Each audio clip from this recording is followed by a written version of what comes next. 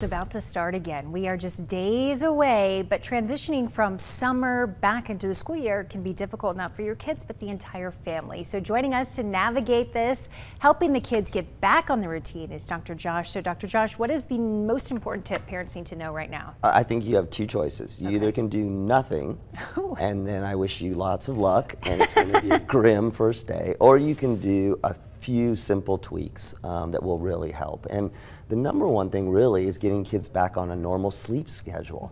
You know, it's, it's not even so much that they stay up so late, but their sleep schedule is kind of erratic, and that doesn't bode well for the first day of school. So I always tell parents, just start getting things consistent, start bringing things a little bit earlier so that at least by the first day you're getting close to a consistent schedule. That's the first thing. Okay, and so we have like probably about a week yeah. until school. So that's enough time to get the schedule Plenty of time. And it doesn't have to be exact, just keep it consistent and sort of bring it back. The second thing is to really start priming their brain. Okay. Um, there's a lot of kids, you know, who do academics over the school year, but there's a lot of kids who don't.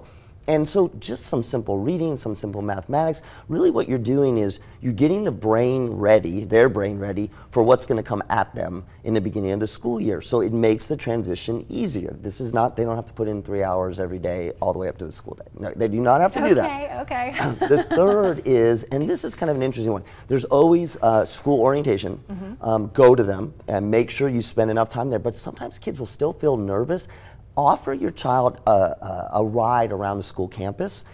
Just seeing the environment, even if it's the outside, is super helpful. And then the final one is probably the most important. Yeah. Your kids are going to be spun up, they're going to be anxious, they're going to be nervous. You have to stay calm, otherwise, it just becomes a dumpster fire. And I love that because that's good advice for everything. You oh, yes. Your, your, kids are always looking for you to gauge the situation. So. Absolutely. Now, what if you drop your child off and you cry, but they don't? Um, as long as they don't see you cry, you're fine. Oh, I know, that's so hard. All right, we already did the first day of kindergarten. I think second grade will be good. As always, Dr. Josh, we appreciate you being here and your expertise. Thanks,